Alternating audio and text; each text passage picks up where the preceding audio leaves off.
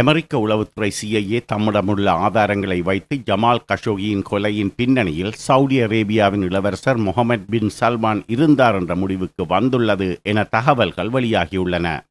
அமெரிக்க ஜனாதிபதி Donald Trump Saudi அரேபிய அரச குடும்பத்தை இந்த இக்கட்டிலிருந்து காப்பாற்ற தம்மால் முடிந்தவரை முயற்சிகளை மேற்கொள்கிறார் என்பது வெளிப்படையாக தெரிந்துள்ள நிலையில் உளவுத்துறை சிஐஏ தமது புலனாய்வின் முடிவை ஊடகங்கள் வாயிலாக கசியவிட்டது.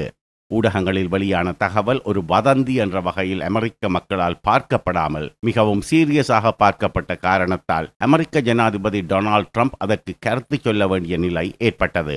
அமெரிக்க ஜனாதிபதி டொனால்ட் ட்ரம்புக்கு இது ஒரு மிகவும் இக்கட்டான நிலைமைதான்.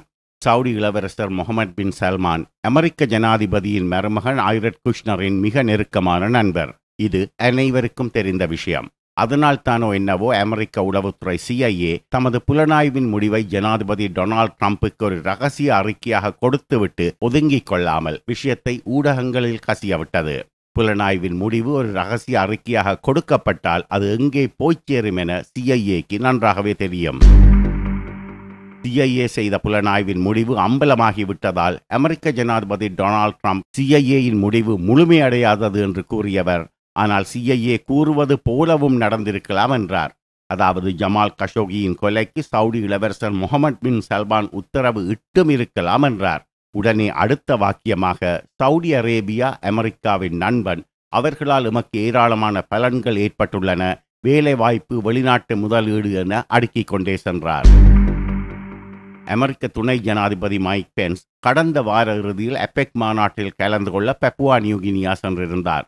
பெப்புவா நியூகினியாவின் தலைநகர் போர்ட் மொரஸ்பியில் செய்தியாளர்கள் அமெரிக்க துணை ஜனாதிபதியிடம் எபெக் மாநாட்டை பற்றி கேள்வி எழுப்பியதை விட ஜமால் கஷோகியின் கொலை தொடர்பாக சிஐஏ செய்த புலனாய்வின் முடிவு பற்றி எழுப்பிய கேள்விகளே அதிகம்.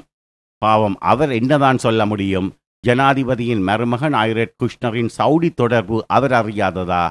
அதுவும் மருமகன் ஐரட் குஷ்னர் அதிகாரப்பூர்வ பதவி ஒன்றில் உள்ளார். அந்த பதவி ஜனாதிபதியின் மூத்த ஆலோசகர் senior advisor to the president of United States இதனால் துணை ஜனாதிபதி மைக் பென்ஸ் பத்திரிகையாளர் கொல்லப்பட்டது ஜனநாயக படுகொலை. மிக கொடூரமான செயல். இதை நாங்கள் கண்டிக்கிறோம். இதை செய்தவர்களை நாங்கள் சும்மா விடமாட்டோம் என்று கூறிவிட்டு சவுடி அரேபியாவுக்கும் அமெரிக்காவுக்கும் இடையே சரித்திர ரீதியான தொடர்புகள் உள்ளன. மத்திய கிழக்கில் அமெரிக்காவின் நெருக்கமான தோழன் சவுடி அரேபியா தான் என்றும் அடித்துவிட்டார். இந்த கூற்றுக்களை கேட்டு அமெரிக்காவின் நெருக்கமான தோழனின் பட்டத்து இளவரசர் வாய்விட்டுச் சிரித்திருப்பார்.